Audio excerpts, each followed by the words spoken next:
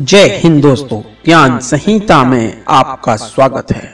दोस्तों 23 जुलाई उन्नीस को एक कनाडा एयर फ़्लाइट 413 उसने उड़ान भरी। उसके ठीक एक दिन पहले यह प्लेन टोरंटो से एडमिंटन गया था, जहाँ पर इसका रेगुलर मेंटेनेंस चेकअप हुआ। यहाँ पर सभी फ़्लाइट मेंबर की ड्यूटी भी एक्सचेंज हुई। प्लेन के कप्तान रॉबर्ट पियर्सन जिनके पास पंद्रह हज़ार घंटे तक प्लेन उड़ाने का अनुभव था। जानकारी के लिए आपको बता दें कि एविएशन का अनुभव घंटों में मेजर किया जाता है। पायलट रॉबर्ट पेयरसन ने जो अनुभव ले रखा था, वैसा अनुभव उस समय कुछ ही पायलटों के पास था। प्लेन में पायलट के अलावा बहुत से और भी लोग होते हैं जो प्लेन उड़ाने में महत्वपूर्ण भूमिका निभाते हैं। और उनमें से एक थे प्लेन के फ़र्स्ट ऑफिसर मॉरिस क्विंटल उनके पास भी फ़्लाइट उड़ाने का सात हज़ार घंटों का अनुभव था।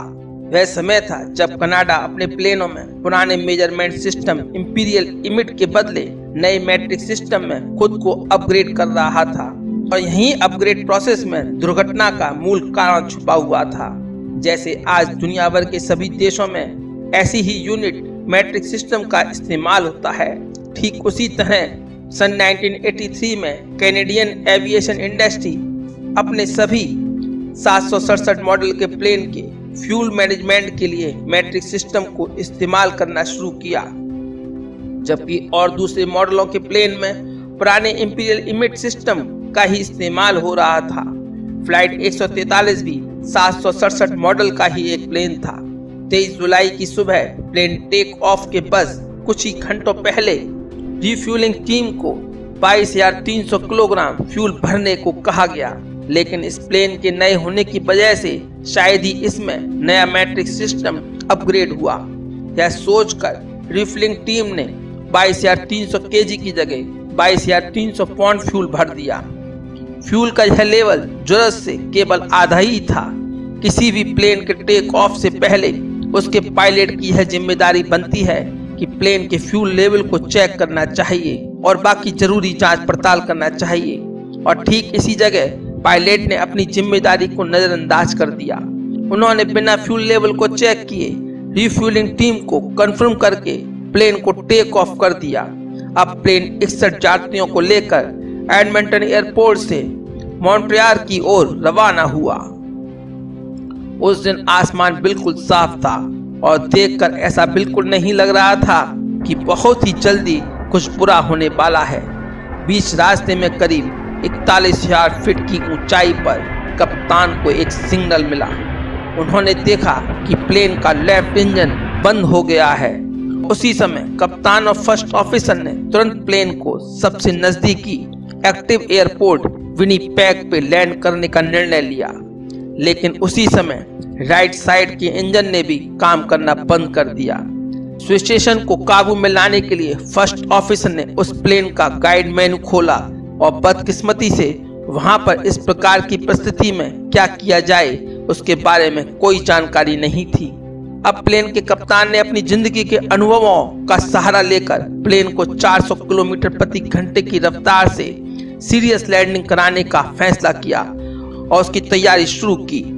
लेकिन प्लेन में जो टर्बाइन घूमता है, उसी के कारण प्लेन के अंदर और कॉकपिट में इलेक्ट्रिसिटी जनरेट होकर सप्लाई होती है। लेकिन इंजन के बंद होने की वजह से टरबाइन ने भी घूमना बंद कर दिया, जिसके चलते सारे मॉनिटरिंग सिस्टम बंद हो गए और सिर्फ़ कुछ एनालॉग सिस्टम ही काम कर पा रहे थे। लेकिन प्लेन में इलेक्ट्रिसिटी ना होने के कारण प्लेन का वर्टिकल स्पीड इंडिकेटर और एल्टीट्यूड इंडिकेटर बंद हो गया, जिससे तब प्लेन कितनी ऊंचाई पर है और कितनी तेज़ी से नीचे की ओर जा रहा है, यह जानने का सभी रास्ते बंद हो चुके थे। उस वक्त फ़र्स्ट ऑफिसर कैलकुलेट करके यह देख रहा था कि प्लेन 400 किलोमीटर प्रति घंटे की रफ्तार से निर्धारित किए गए पैक एयरपोर्ट पर पहुँच पाएगा या नहीं। कैलकुलेशन के हिसाब से वो काफ़ी तेज़ी से नीचे जा रहा था, लेकिन आगे उतना नहीं बढ़ पा रहा था। उसकी वजह से वह इमरजेंसी स्पॉट पर भी नहीं पहुँच सकता। तभी फ़र्स्ट ऑफिसर मॉरिस क्विंटल को उनके ट्रेनिंग सेंटर एयरबेस गिमी की याद आई। जो कि पासी में था। उन्होंने प्लेन को वहाँ पर ही सुपर सीरियस लैंडिंग करने की तैयारी शुरू कर दी। लेकिन वह इस बात से अनजान थे। वहाँ पर अब एयरबेस की जगह रेसिंग ट्रैक को बना दिया गया है और उस समय वहाँ पर रेस चल रही थी, जिसके कारण पूरा स्टेडियम ऑडियंस से भरा हुआ था। तब तक पियर्सन उस 143 प्लेन को गिनी एयरबेस पर। रेसिंग ट्रैक पर ही लैंड कराने लगे। खुशकिस्मती से तब वहाँ पर रेसिंग ट्रैक खाली था। कप्तान ने प्लेन के लैंडिंग गियर को ग्रेविटी ट्रॉप की मदद से बाहर निकाला, लेकिन प्लेन का फ्रंट व्हील वह ग्रेविटी ट्रॉप के बाद ठीक से लॉक नहीं हुआ और प्लेन रनवे पर टच करते ही कप्तान ने पूरे फोर्स के साथ ब्रेक को दबाया, जिसकी वजह से फ्रंट व्हील वापस अंदर चला गया और प्लेन के आगे का हिस्सा ज़मीन से जा टकराया और फिर ज़मीन में खिसकता चला गया, जिसके कारण प्लेन की स्पीड कम हो गई, जिससे लैंडिंग गियर टूट के प्लेन रुक गया।